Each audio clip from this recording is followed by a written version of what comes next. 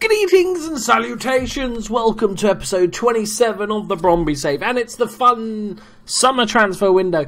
To be honest, it's not been that fun. It's quite a weird situation. So, norm- let me you. So, normally I manage in the English divisions mostly, um, and by the time you get to the Premiership, you're given quite a lot of money, even if you're a very small team, just because the TV revenue is ridiculous.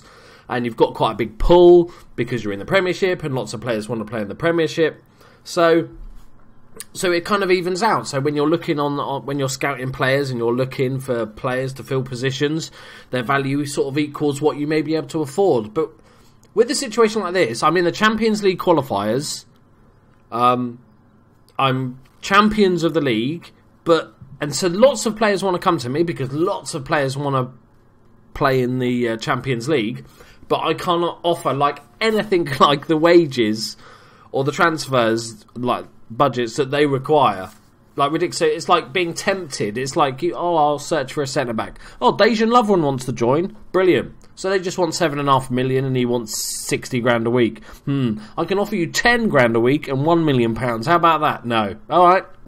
So it's a bit. It's a bit weird. I think you just have to rely on loans a lot more. And we have made one massive signing. I've overspent, but I wanted him, and I've wanted him for ages, and I wanted to. Well, let, let me just show you. Let me just show you. Here we go. Here are the signings this season. We're about to play our first Champions League qualifying leg. So, as you can see, there's one big boy there, but we'll go through him. So, the first up is Kevin Mercer. He's Arsenal FC in USA. Um, as you know, I've been poaching the American leagues for young players, and he's just another really good player. He can slot in straight as my backup left back, really. Um, you know, the budgets are so tight that I can't really afford a decent players in both, all positions, like decent backups. So I'm having to sort of deal with stuff like this. But, you know, very good physicals. He can still do a decent job there. Um, another little cheeky pickup on a free. Next up, we've got Mike Vassell again. And weirdly, every player that I've bought from United States of America, I've had to send on an intensive language course to learn English. I know. Sorry, American viewers. I know. There's a there's a how do I say this? there's a sort of thing that Americans might not be the most intelligent people. Is that mm, okay? Well, let's leave it there. I'm hoping that only about one percent of my audience are American, so so hopefully that it will just insult one percent. Um, but the fact they have to learn English is just ridiculous. Anyway, so here he is here. He's a defensive midfielder, um, anchorman with 17 long shots. So interesting. Um, but he's possible five star potential, so a huge, huge, really good player. Really happy to have him in the squad. Um, a couple of teams want to loan him, but I'm actually he's going to be my backup um, defensive midfielder. That's how bad the budget is, by the way, because that's what we're having to deal with. Um, Next up, we've got Julian Green from Bayern. Ironically, he's another American, but I didn't poach him from America. He was he's a Bayern Munich youngster, um, been there throughout his career. Had a very good season for the second team in Bayern Munich, which you know, ten goals, nine assists, absolutely fantastic. Um, picked him up on a free. I've been tracking him for a while. He's a very good sort of versatile uh, winger. Can play inside forward happily both sides, can play up front if needed, and he's got decent finishing, so he can definitely do a job there. So very happy to get him. I've been tracking him for a while. Talking of tracking people, stalking people, Mikael Duelund, I have been um, tracking. He's been on my shortlist forever because what I wanted to do was try and bring in Danish players, get some, build a Danish side, which is fucking hard. I got to tell you, with no money to really push these other teams to get them. So I bought him for 2.8 million. That's his release clause. Uh, weren't bothering. I've got. I know I've got a Midtjylland fan um, in in the, as a subscriber. So I'm. I tried to sign the other guy. I tried to sign what's his name, Pisto or whatever his name is. Um, yeah, Sisto, Pione Sisto. That's why I said Pisto. Um, but yeah, just way too much money they wanted for him. Um, it was more about sort of five, six million for him. but I did get one of the guys I really wanted to to get. So his name's Michael Duelund. He's Danish, which is the single goal. He's four and a half star possible potential. He's um, a inside forward, two-footed, another two-footed player, which is just fantastic. I'm going to play him on the right-hand side, so um, we will be learning. He will be learning that role. Um, anybody can tutor him? No. Um, yeah, he's only 20 years old, 11 caps for Danish under 21 team. Very good all round player. I think he's going to play a big part of our success going forward. And it's great to just have another Danish player. Um, he can also play central midfield, which is nice if we need to fill in. He's had a couple of decent seasons. Um, and we poached him from a rival, so that's always good. We've given him some money, but oh well. So on the freebies, um, lots of just youngsters that just didn't get close to the team. This one was annoying um, a few episodes ago. So I signed this guy, um, Sip Hamadia Baloyi. I think it was actually. might have been my like head of youth development or something that signed him. He's a very good prospect, but um, I could only offer him like a grand a week just to be a youth player because that's the rules for some fucking reason. Um, so that it was really annoying, and he wasn't quite good enough. He's progressing well, and he, I couldn't get him a work permit. That wasn't happening either. So eventually, he just fucked off to Leon. I'll keep an eye on him though. I'm going to add him to my shortlist so I can cry when he's worth 50 million pounds. Um, next up, we've got George Niedermayer, who on paper looks a decent player, but he did very much struggle last season. The scouts don't really rate him. He was on quite a lot of money, I think 12,000 or 11,000. Um, only worth about 100 grand. So I palmed him off to um, Brighton, um, which eventually I immediately regret because I haven't got a very big team at all and I have no wages and no money to spend. So that's fun. One of the good things, though, is we did sell Tom Carroll. So Tom Carroll was bought in uh, mainly to play a slightly more advanced role, but that we never ended up using.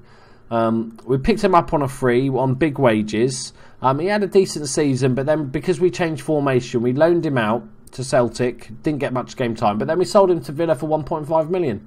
So very happy with that. Josh Harrop, again, he was bought in as a sort of very much a natural winger, and then we started playing inside forwards. So we made a bit of a loss on him, but we did manage to get 100 grand, so not too bad at all. and then Darlan, our defensive midfielder, another one I probably wish I hadn't sold now because I didn't realise the finances were so fucking awful that we couldn't replace anybody.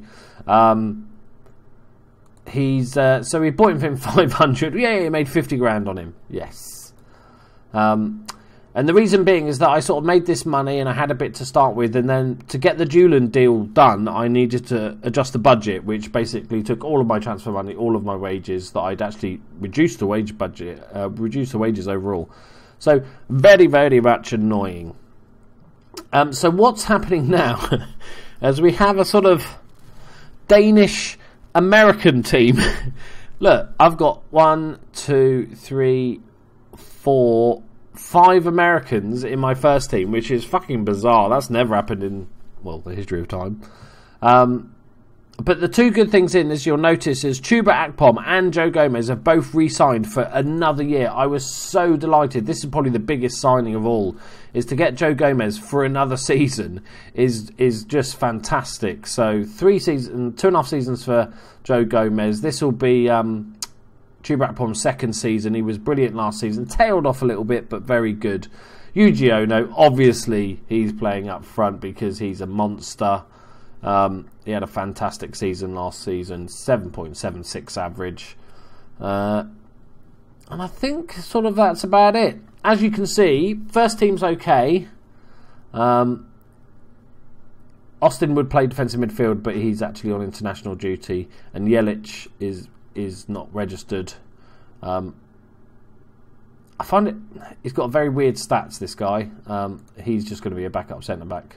We bought him for twenty grand, and he's barely played. I just found him on my B team when I realised I had no money to spend. If you look at my finances, zero, um, and uh, we are overspending.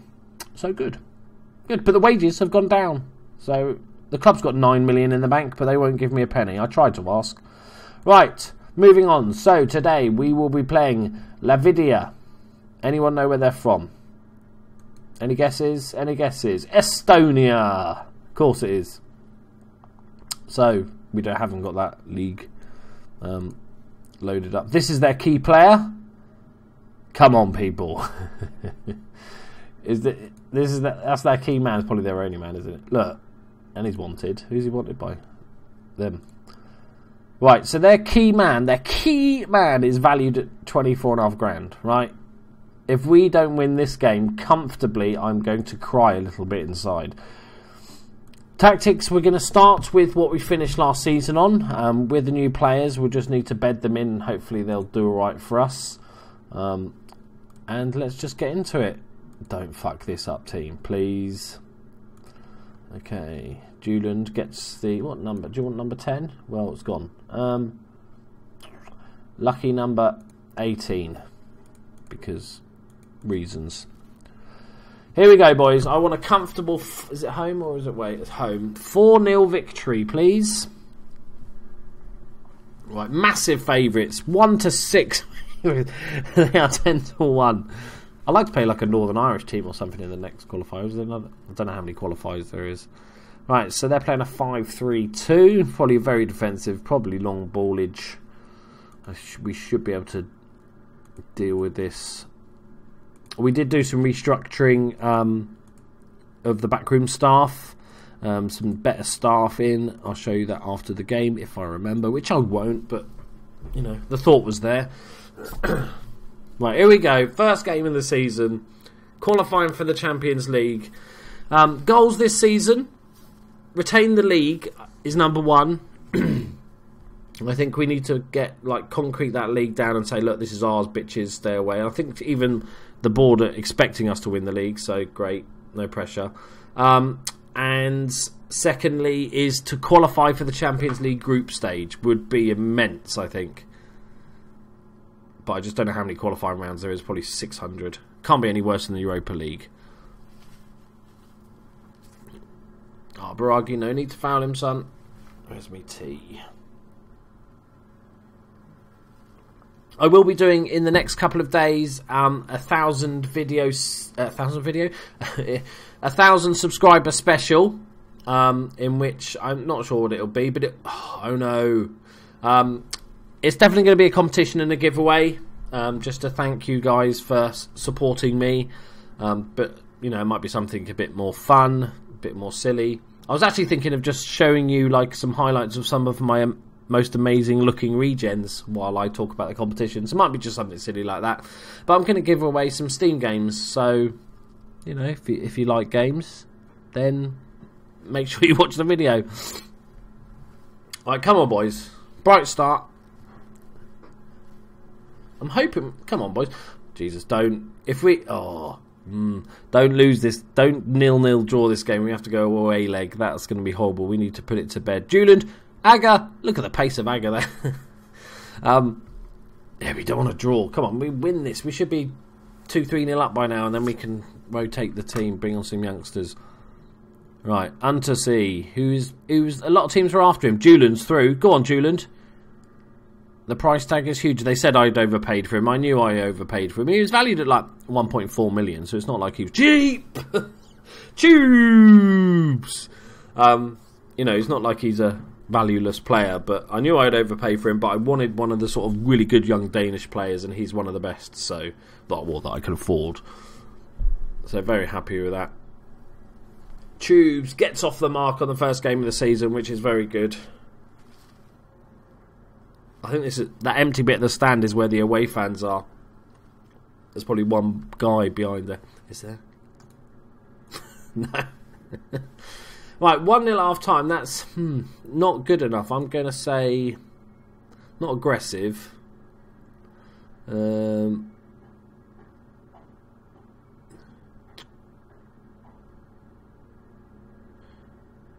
I'll just say, okay, yeah, there's room for improvement. I don't want to go in with like a one goal lead or something. I'd much prefer to get in there with a bit more security. Um, just need to check Julian Green. I know he's right-footed, but does he have a left foot at all? Okay, so he's he's close to being two two-footed. That's good. So we can basically I'll play him anywhere I fancy. Um, Hjulsager. Hmm the ever. I'm just not going to do anything. The never-ending saga of how to get Hjulsager to play football. I'm not going to sell him ever. He's go. I'm going to make it work somehow. Right, we need like a couple of goals here just so the second leg's not awkward, I think. Tubes with the ball though on the left hand side. He's got the overlap coming. Biraghi. There he is. Steams through. He's looking. Is he going to go back post? Near post. Owner's there. Penalty. Rotha Could looks like a handball. Foot up. Apparently. Who's taking the penalty? No, no idea. Referee's jogging around. Twenty-two. Who's twenty-two? Duelund? No, that he was 20, 18, wasn't he? 22. Not got a not got a clue. It's Daniel Agger! Of course it is. Idiot. Danny Agger takes pens. Forgot about that. Every time I forget about that, like an idiot. There it is, 2 0. One more, boys. One more, and then we can relax, please. Danny Agger steps up confidently, just dinks it to the left hand side there.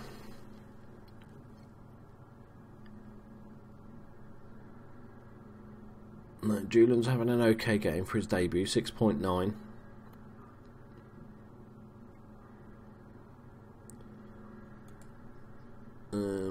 Um, gonna give House a bit of game time. I think we're you know good enough that we shouldn't shouldn't get screwed over here. Julian Green, I'll give him his debut. And Hjulsager at as a box to box midfielder. Can he play box to box? Yeah, he's alright box to box. Good. Maybe that's his position. That's a little hidden gem. Right, here come Levadia. Oh, don't score. That is just. Jesus. That would have been embarrassing. This is basically like playing the Sunday League team, isn't it, really? Oh, Biraghi's storming forward. He just keeps not going. Agger with a good interception. Don't tire yourself out, Agger. Ball over the top to Julian, the new man. Aya. Great ball to Biraghi. He's going to fire one across. Taking a bit more time. Does eventually. Julian! Yes! Debut goal. That's what we wanted to see. Yay! £2.8 million. Bargain. Even I know that's not true. It's when you go and look at Midland and they you, see they've signed some fucking Brazilian wonder kid for hundred grand with the money you gave them. No, we're going to get Danish players, good Danish players. It's not just about signing the best players. It's why I don't load. I never load Brazil and Argentina up in the leagues. Oh no! Oh no! Ooh, because there's just too many good players that you can just nick from there. So it makes it too easy or too tempting. If you don't load the leagues, you still get a good, like a smattering of good young Brazilian and Argentinians and Uruguayans without it getting ridiculous. Right, corner ball. Who's taking it? Hjulsager into the mixer. Oh no! Is that did Ono just win the header? Oh my god, the five foot two midget, or whatever he is. Deserved a goal though. There it is, 4 0. Salmon like. Look at the leap. Happy with that. Well done, boys.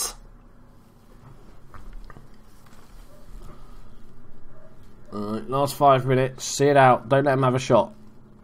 They've had decent amount of possession, considering considering we've had 30 shots.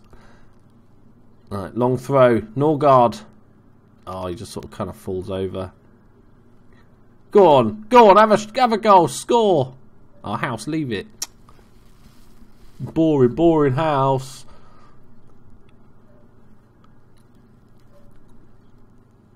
Alright, Biraghi.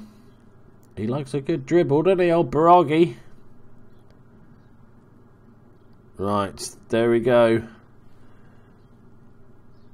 Could have a little chance. Go on, Nabber. Go on, Nabber. Nice. Nice. Look at the triangles. Ryman. Oh, lovely ball to the left hand side. Here it is. Ravi, Rave, Rave. Oh, I think I think we deserve that. Uh, probably should have scored more, but uh, job done. I think it's safe to say in the first leg. What I was going to say. Um, yeah, so here's my staffing um, improvements. Um, I still got actual place to go, but what I'm trying to do is keep the wage budgets down at all costs. If I find a good cheap coach or whatever, I will. But I'm trying to keep the bud every type of budget down. I've got the maximum amount of physios just because that just makes it easier. Um, I don't need all the a full scouting roster. I've already got very good scouts, so I've improved the ones I've got rather than just getting more for the sake of having more. Um, so very happy with that. Um, as I said, the finances are looking very good this year. I think we should run at a slightly less of a loss each month. How tall is Ono? He can't be more than five foot eight. Yeah, five foot seven. He's got 13 heading to be fair, 12 jumping reach. Right, and there we shall end the first episode. Um, a relatively quick transfer roundup. There was not a massive rebuilding project at all. Um, just just the the big signing. Um, next episode, there, so we've still got plenty of the transfer window left, but I just don't unless we are forced to sell someone, um, which I don't really.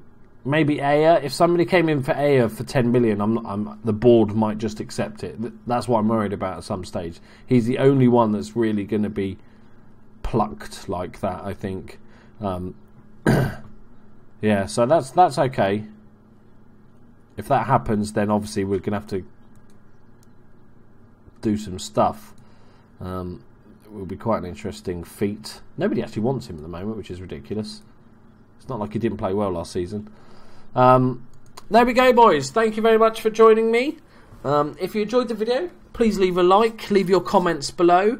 Um, I hope uh, I forgot your name, but the Mittenland fan. I hope you like the fact I've signed your friend Mikael Duelund. Sorry I couldn't get the other guy, but I tried. Like you, you tried in your game as well. It's just quite hard to prize him away unless you offer stupid money, and he's just not that good that you'd offer crazy money for him. Thank you very much, guys. I'll see you in the next episode. Bye bye.